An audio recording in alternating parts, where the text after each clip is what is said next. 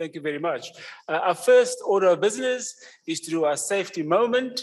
Uh, and uh, I'm going to ask Morgan to come up and please uh, welcome him as he comes give us his uh, safety moment. Thank you, Morgan.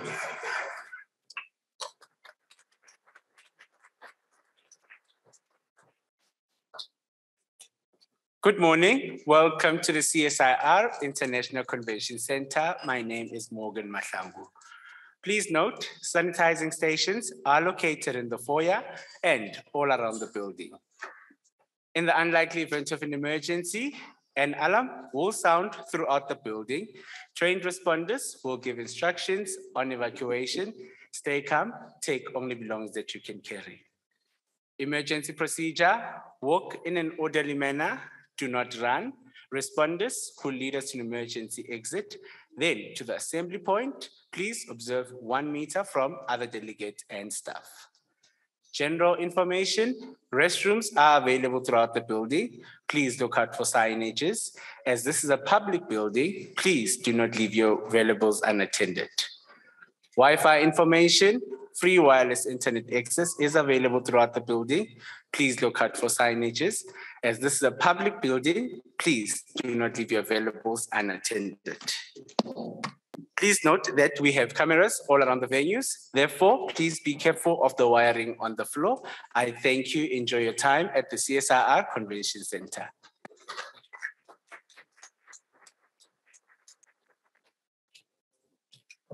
Well, good morning, colleagues, partners, and collaborators, and those that are present physically with us as well as those participating through our online portal.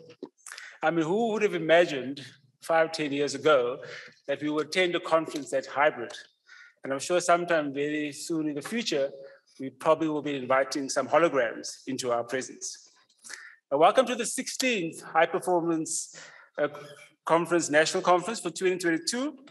And I want to say a special welcome to those that traveled from afar and especially those who chose this conference over the Soccer World Cup.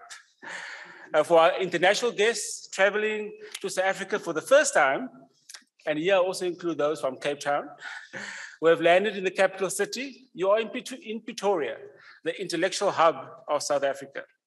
And if you get the opportunity to explore this beautiful city, uh, yes, the Nelson Mandela statue is situated outside the Union Building. Uh, my name is Mervyn Christoffels, and I'll be chairing the opening session this morning. We are extremely excited to host all of you for the next few days. And we have prepared a high calorie feast that will nourish you, but not fatten you up. And this high calorie feast has been prepared around the theme of democratization of cyber infrastructure for sustainable development. Some of you are thinking, hey man, I'm in Africa, why is everything politicized? On the contrary, it was Andrew Feenberg in his critical theory of, of technology who wrote, what human beings are and will become is decided in the shape of our tools, no less than in the action of our statesmen and political movements. The design of technology is thus an ontological decision fraught with political consequences. The exclusion of the vast majority from participation in this decision is profoundly undemocratic. Today, we refer to democratization as citizen access. And so, to explain the theme further, it's extending and expanding the use of cyber infrastructure to all who can create value.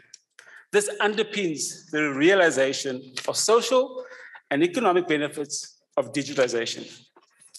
This value creation has found expression in the African Union Digital Transformation Strategy for Africa 2020-30, which states, the importance of technology for development and economic growth plays a central role in the attainment of all the SDGs. And in fact, for those who didn't know this, a goal nine of the Sustainable Development Goals says, build a resilient infrastructure promote inclusive and sustainable industrialization and foster innovation. This implies that without technology and innovation, industrialization will not happen. Concluding that digital transformation has become a pillar for economic growth and poverty. A taste of what you are in for can be summarized then as a variety, mixture, range, and diversity. And this is made possible through panel tracks and community special interest groups, posters, micro talks, and exhibits. And let me add as well that this has only been made possible through partnerships. And here I want to give a, a, a special thanks to our diamond sponsors, Intel and HPE, and to our platinum sponsors, Dell and, and Lenovo, for their ongoing support. During the next three days, we'll have approximately 600 delegates that will participate in this conference. And some of them will be on the online portal as well. But I'm going to challenge you to do two things for me that will contribute to the success of this conference. And these two things are the following. I want you to take something with you, and I want you to leave something behind. Take something with you. Learn three new things over the next three days. Meet three new people over the next three days. And share how to make the world a better place from the domain that you're in. Insights and expertise from your domain.